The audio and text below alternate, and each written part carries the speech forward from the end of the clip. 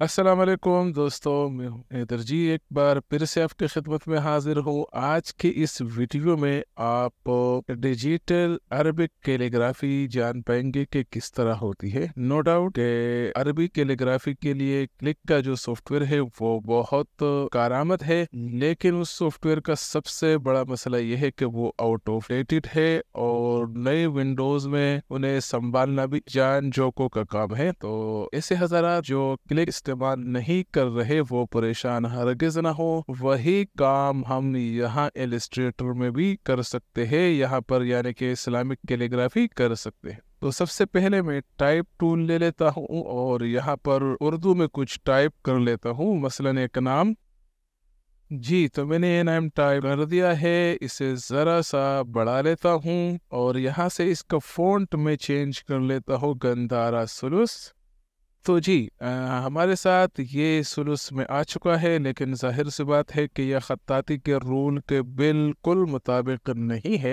अब हमने इसको सुलूस कैलीग्राफी जिस तरह होती है उसी के मुताबिक ये डालना है। तो सबसे पहले मैं आ जाता हूँ यहाँ लाइब्रेरी में। लाइब्रेरी में मेरे साथ एक फ़ाइल है एराफ के नाम से। यहाँ पर मैंने तमाम तरह जो एराफ उर्दू और अरबी ख़त्ताती में इस्तेमाल हो सकते हैं वो रखे हैं। मैं इसको कॉपी कर लेता हूँ और ला के यहाँ पेस्ट कर लेता हूँ।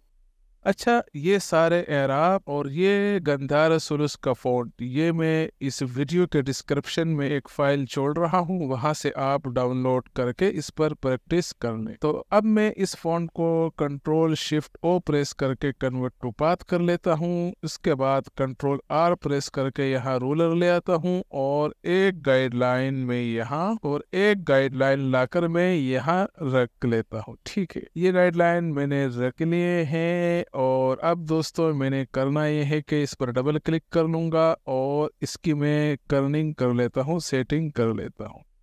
या के नुक्ते में यहाँ ले आता हूँ।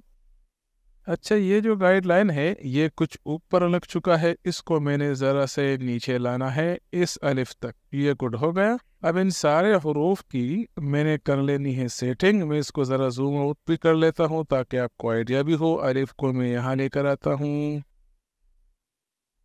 पहले मैं ये नुक्ते यहाँ रख लेता हूँ उसके बाद मुनासिब स्पेस के मुताबिक ये भी ले आता हूँ। ठीक है, ये अच्छा हो गया। ज़रा जूम कर ले, मुझे लगता है कि इसमें हम मज़ीद भी गुंजाइश बना सकते हैं। सो कर दिया हमने।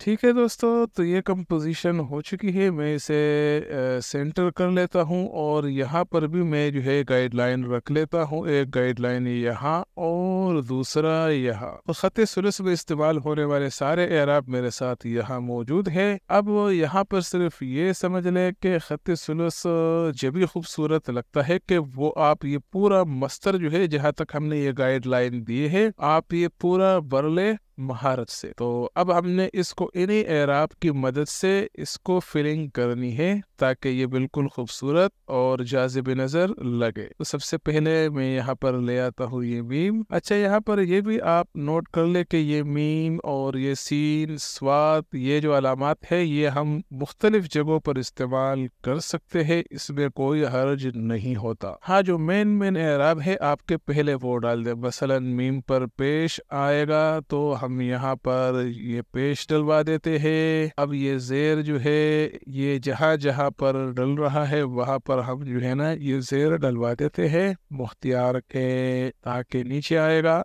इसकी जरा सेटिंग कर ले। इसी तरह दाल पर तशदीद आने वाला है और इसी पर जेर भी आने वाला है। ये जेर भी डलवा दे। अच्छा थोड़ा बहुत अगर ये आप बाहर निकल भी जाए तो कोई इशू नहीं है। आ, इतना थोड़ा बहुत चल सकता है आप चला सकते हो। ये राब हमने लगा दिए है अब मैंने यहाँ से ये उठा के यहाँ रख लेना है।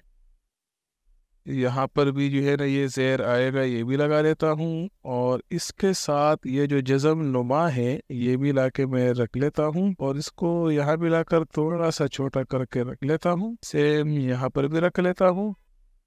यहाँ पर ये इस्तेमाल कर लेते हैं।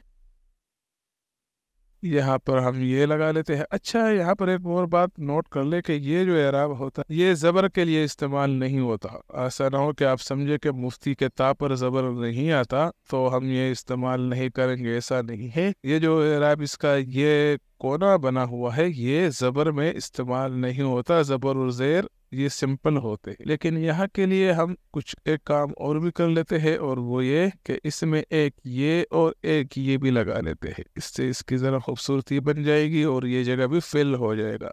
ये अच्छा हो गया, बिल्कुल। बेशक यहाँ पर भी आप ये लगा ले। मुख्तियार पर ये पेश हम लगा लेंगे, ये कुछ बड़ा सा है।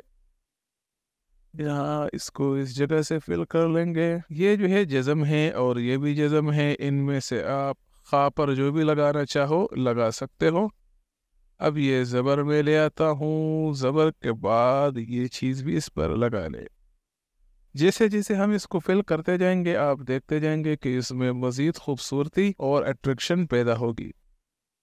ये लंबी जगह थी तो सो हमने ये इससे फिल कर दिया। ये जो हमने लगाया है, ये मैं यहाँ ले आता हूँ, इसको थोड़ा सा छोटा कर लेंगे। और ये वाला सेलेक्ट करके ज़रा बढ़ा लेते हैं। बढ़ाने के बाद यहाँ पर भी चाहे तो आप ये लगा लें, ये भी थोड़ा बढ़ जाएगा। बल्कि यहाँ पर हम ये ही लगा लेते हैं। जज़म को उठा ले, यहाँ लगा ले, यहाँ ले आए। ये जो है, यहाँ लग के रख ले।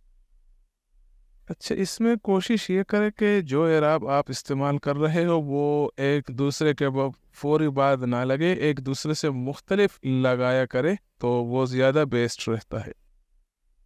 अब ये दाल की जगह हम इसी से भर लेंगे, ये आ गया, बेहतरीन हो गया मीम में हमने ये वाला लगाना है। इसके अलावा इस पर जो है, ये उल्टा जज़म भी लगा लेंगे, इससे भी कुछ फिल हो जाएगा, बेहतरीन हो गया। और ये जनाब इसको यहाँ पर भी ला के रख लीजिए। इसको ला के यहाँ भी रख ले, इसको ज़रा बेशक बढ़ा भी ले। बढ़ाने के बाद थोड़ा सा रोटेट भी कर ले और अब डायरेक्ट सिलेक्शन टूल से ये जो है, ये ज़रा बढ़ा भी ले। जी गुड हो गया। इसको सेलेक्ट करके यहाँ पहले सेंटर में रख ले गाइडलाइन से मिला ले। गाइडलाइन से मिलाने के बाद बेशक आप यहाँ पर भी ये ले आए। इसको ला के यहाँ रख ले, ये स्वाद यहाँ ले आए और ये आके यहाँ रख ले।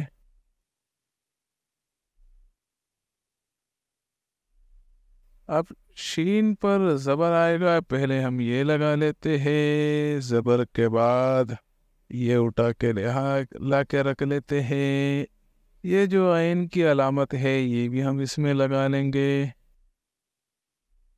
और यहाँ पर हम ये अलामत इस्तेमाल करने वाले हैं। इसको ज़रा सा रोटेट कर ले। रोटेट करने के बाद थोड़ा सा ऊपर ले जाए। इसको ला के यहाँ रख दे। यहाँ भी कॉपी कर ले। ये जनाब आ जाएगा यहाँ और इसको कॉपी करके ला के रखते यहाँ। ये आ जाएगा यहाँ। यहाँ और यहाँ।